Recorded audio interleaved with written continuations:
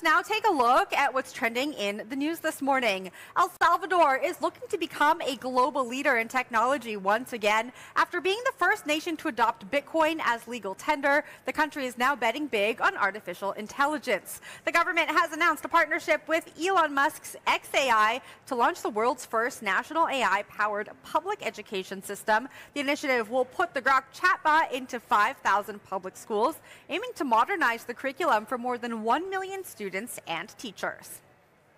Our next story Terraform Labs co founder Do Kwon has been sentenced to 15 years in prison. A federal judge in New York handed down the sentence Wednesday for Kwon's role in a massive fraud scheme. The 2022 collapse wiped roughly $50 billion from the crypto ecosystem. The 15 year term is actually longer than the 12, year, the 12 years prosecutors had asked for Kwon must serve at least half of that sentence in the U.S. before he's eligible to be transferred to South Korea, where he faces additional charges.